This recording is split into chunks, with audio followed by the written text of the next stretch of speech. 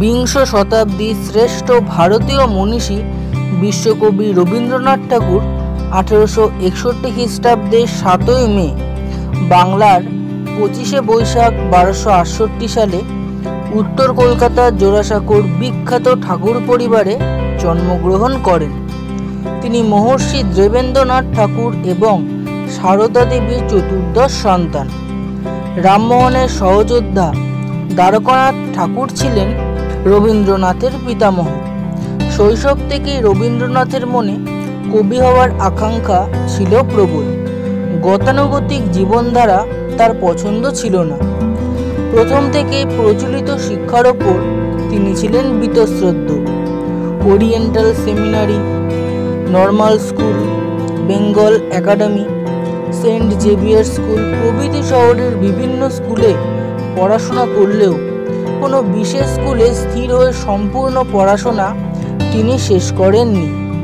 মাত্র ১৩ বছর বয়স থেকেই রবীন্দ্রনাথ কবিতা লিখতে শুরু করেন। আঠারোশো চুয়াত্তর খ্রিস্টাব্দে তার প্রথম কবিতা হিন্দু মেলার উপহার প্রকাশিত হয়। সতেরো বছর বয়সে তিনি আইসিএস হবার জন্য বিলেত যান।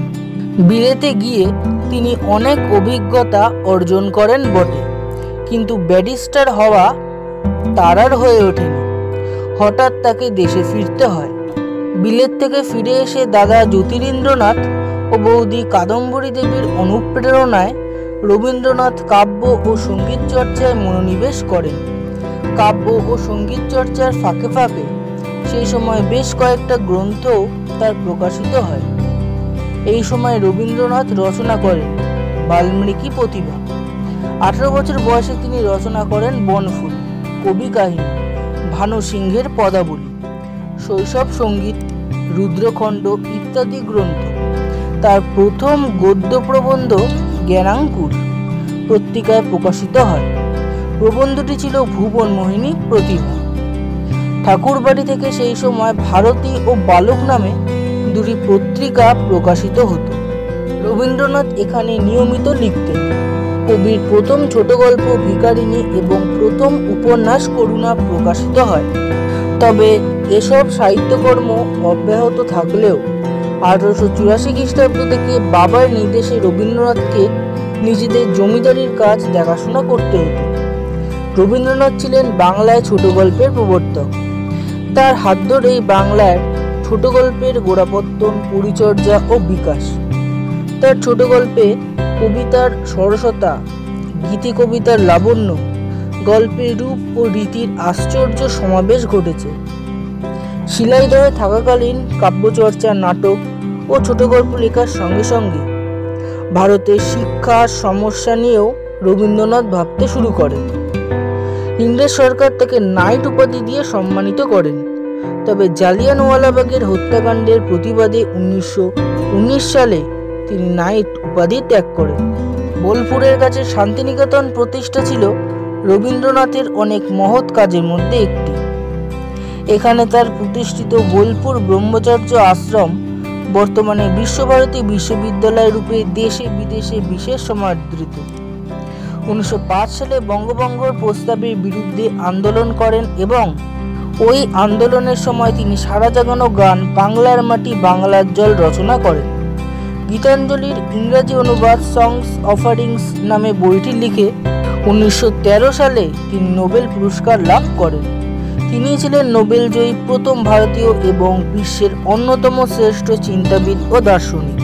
কেবল সাহিত্য নয়, সংগীত ও চিত্রকলায় তার বিস্ময়কর প্রতিভা ছিল।